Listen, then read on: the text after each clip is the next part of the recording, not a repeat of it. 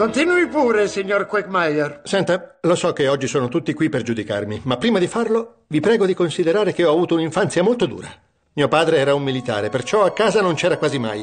E mia madre, beh, diciamo che era un po' promiscua. Credo che i miei problemi siano iniziati il giorno in cui sono nato. Uè, uè, uè. È un maschietto, signora Quagmire. È bellissimo! Come si sente? Arrapata, molto arrapata. Lo rimetta dentro così lo spingo di nuovo fuori.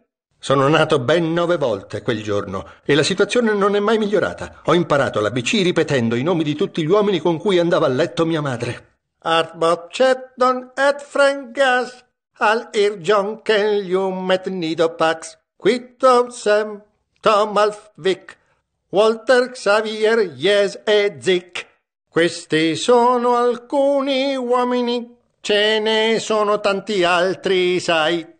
È stato terribile. Non sono nemmeno andato al ballo della scuola. Ci è andata mia madre per me.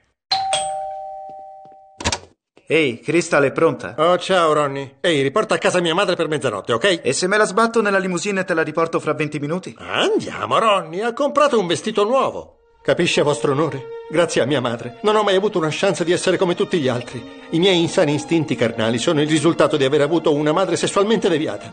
Le chiedo solo di darmi l'opportunità che non ho mai avuto nella mia infanzia.